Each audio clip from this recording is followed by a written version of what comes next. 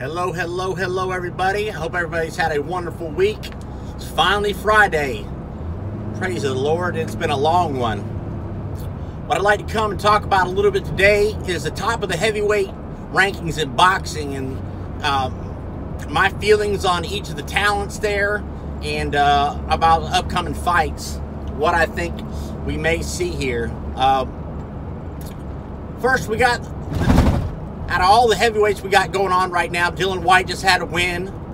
Uh, Dominic Breazeale's been waiting to have a mandatory with Deontay Wilder for over a year, but really, those are secondary names. The top three people everybody are talking about and care about seeing are Fury, Wilder, and AJ, or Anthony Joshua.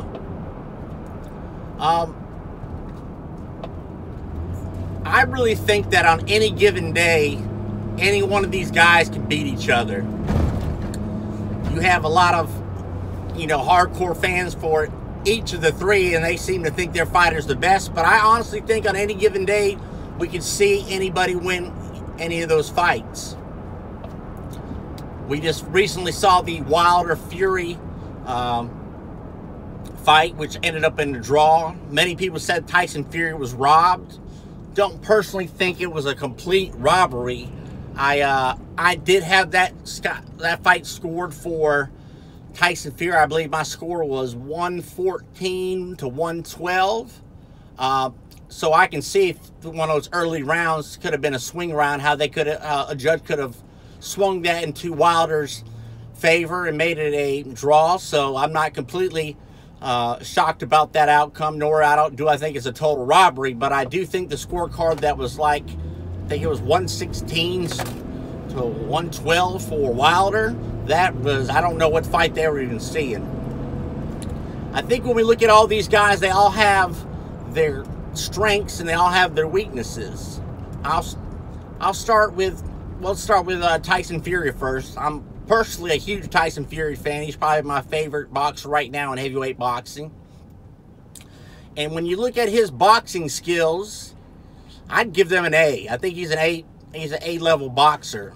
As far as his skills, his movement, I'd give it an A level. As far as his movement and his defense as well, I'd call it A A level or maybe B plus level.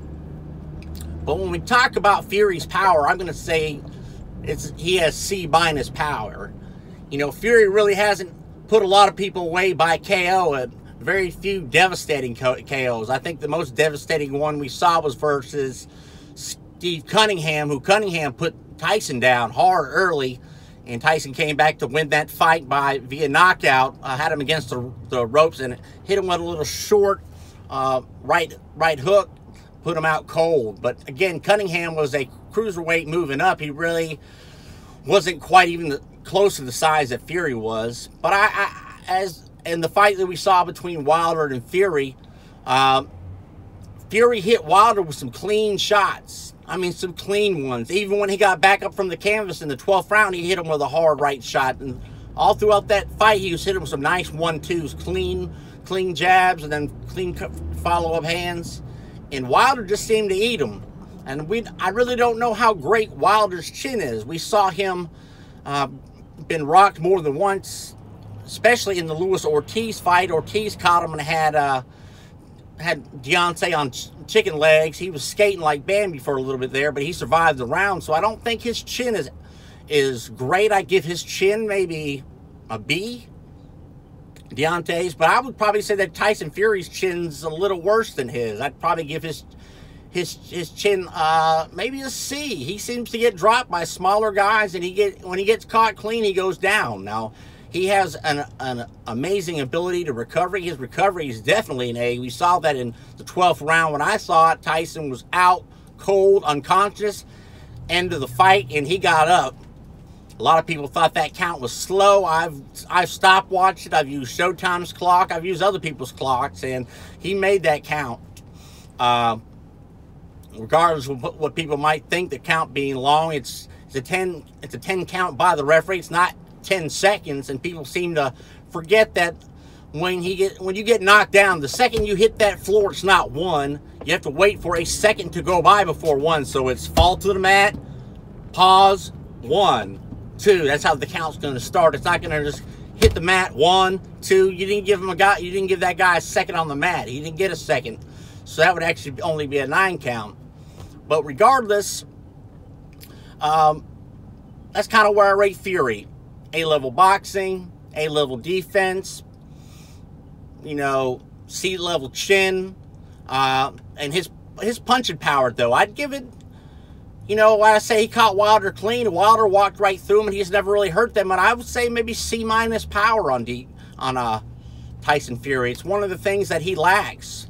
He'll never be a power puncher. I've seen a lot of people on online and uh, making commenting on Fury saying he needs to get better power. He needs to work on his power. Well, there's very little you can do in boxing to work on your power. You can lift weights, which for Tyson Fury doesn't really seem wouldn't really help his style because it would just make him more muscle bound and brutish and would slow him down, slow his movement, slow his speed. Uh, and it really won't really won't help him much because those attributes at his speed, his herky jerkiness, his awkwardness, his boxing skills and movement, that's what wins him fights. He is what, for lack of a better word, I call a point fighter. Uh, he's not a devastating puncher, but he can go in there, he can outclass his opponent and get the job done.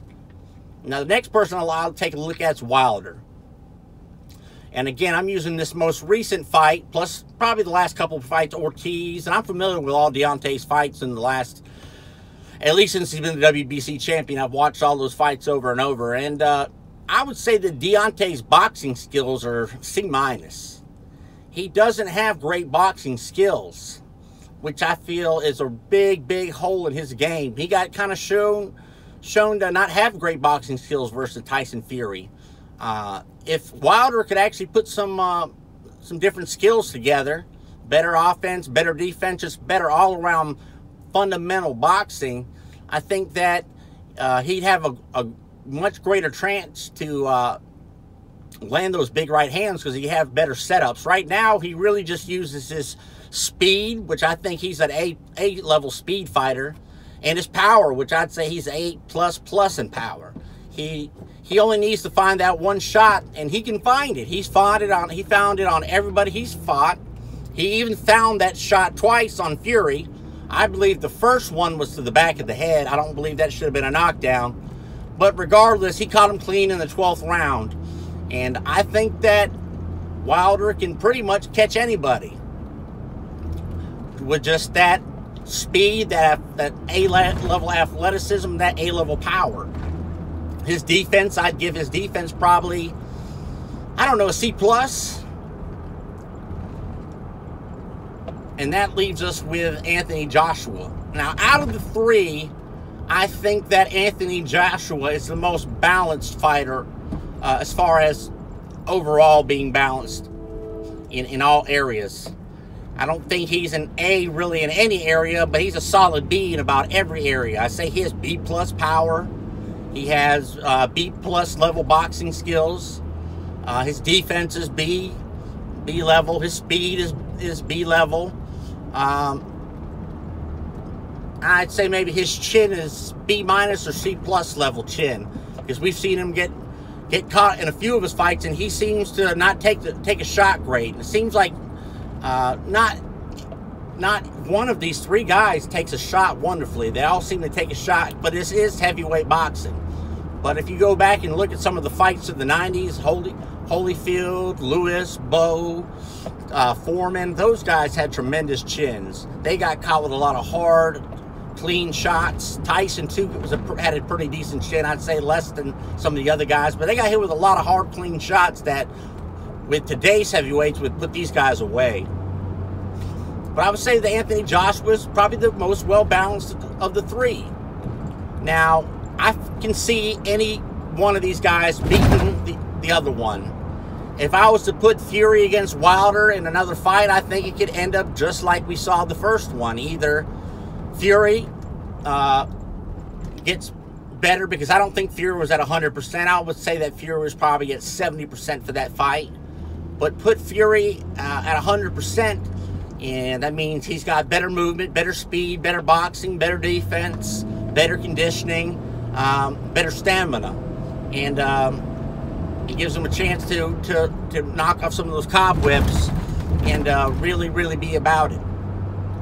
So I think that fight could, could end with, again, with Fury winning on points on the board like I thought he did the first time, or with Wilder winning by knockout. Wilder now has picked up on some of Fury's timing, so Fury needs to improve. But I think if Wilder thinks that Fury's going to be uh, not as good as he was in this fight, or he has not much level to much room to improve, I think he's mistaken. I think that shot isn't going to be easy for Deontay Wilder to find, even in this fight.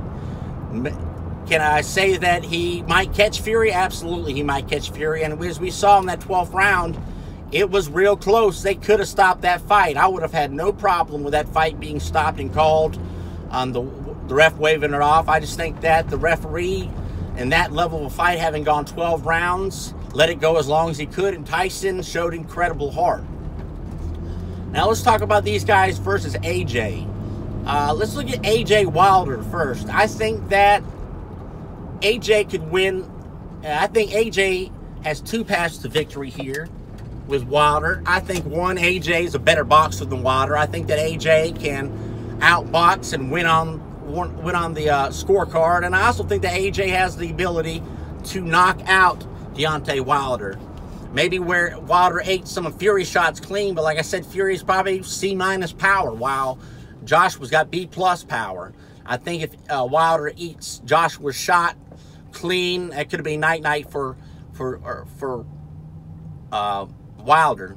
The other side, I don't see Wilder being able to win on a scorecard, but I do see him being able to catch Anthony Joshua. He has caught everybody he's fought. Uh, he might not have put every single one of them away now. I think he has 38 KOs, but he definitely has that ability.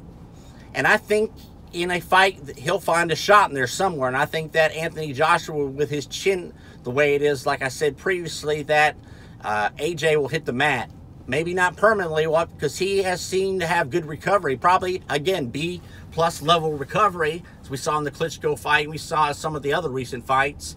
Um, but I definitely give the edge to, I think I'd give the edge to Anthony Joshua in that fight.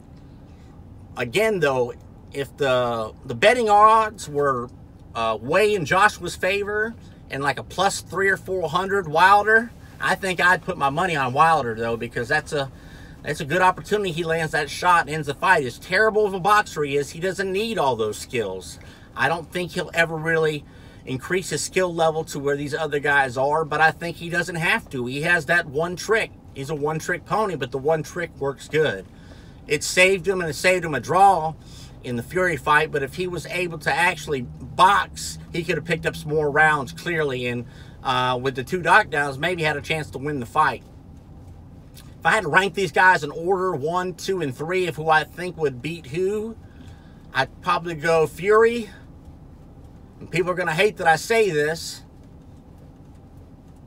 Wilder, Joshua. I just think that Joshua is as well rounded as he is, is still young in the sport. He has a lot less experience than both guys.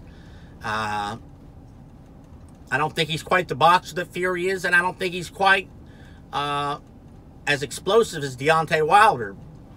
But again, I could move that two or three around. I could, I could again, I could very much